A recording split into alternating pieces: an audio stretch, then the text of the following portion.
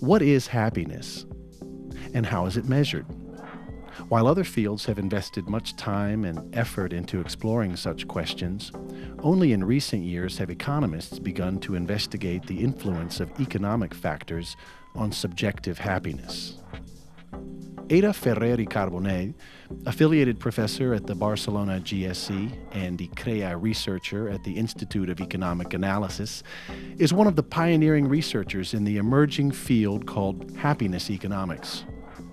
Uh, my research in uh, happiness economics uh, explores the relationship between subjective measures of happiness with aspects of life, such as, for example, the income, financial, or job situation of an individual. Many of my findings have pointed to the conclusion that own income does not substantially affect individual happiness.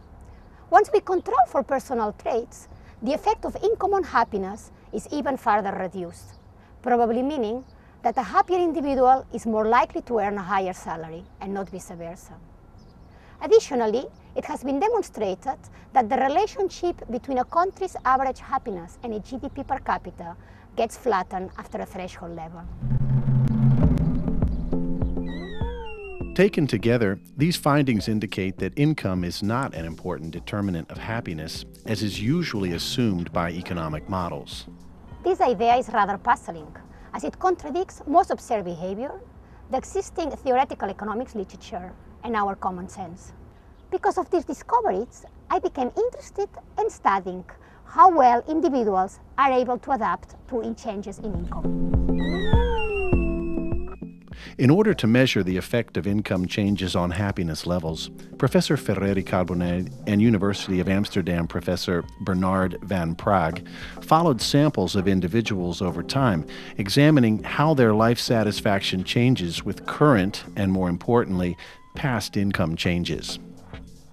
We found that individuals partially adapt to income changes, but not entirely. Specifically, income changes do cause an initial spike or drop in happiness levels. However, after the initial shock, an individual's happiness level thus partially falls back to its initial level. Surprisingly, we also found that the positive effect of an income increase on happiness is larger than the negative effect of an income decrease, although adaptation to them follows a similar pattern.